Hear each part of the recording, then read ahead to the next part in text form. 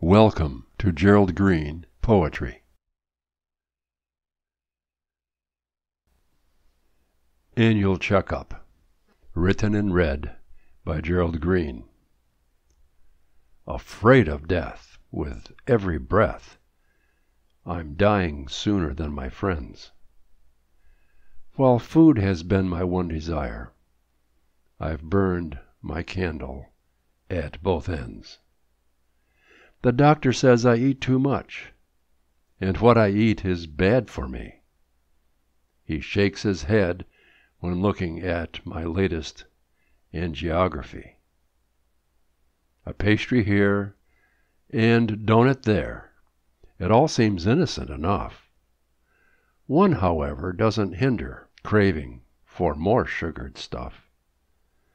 And so I fail, consume some more indulge my hearty appetite, and lick my fingers when I'm done, a sweet and satisfying sight. Life is one extended meal, at least it should be after all, consuming more of what tastes good, ignoring high cholesterol.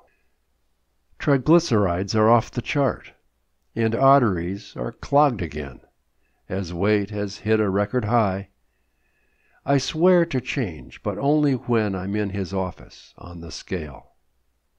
But once I'm home, and memory fades, Temptation visits, small at first, And then my appetite cascades.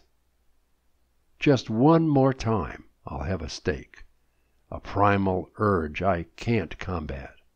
It feels great to chew the meat While tasting gristle, sauce and fat.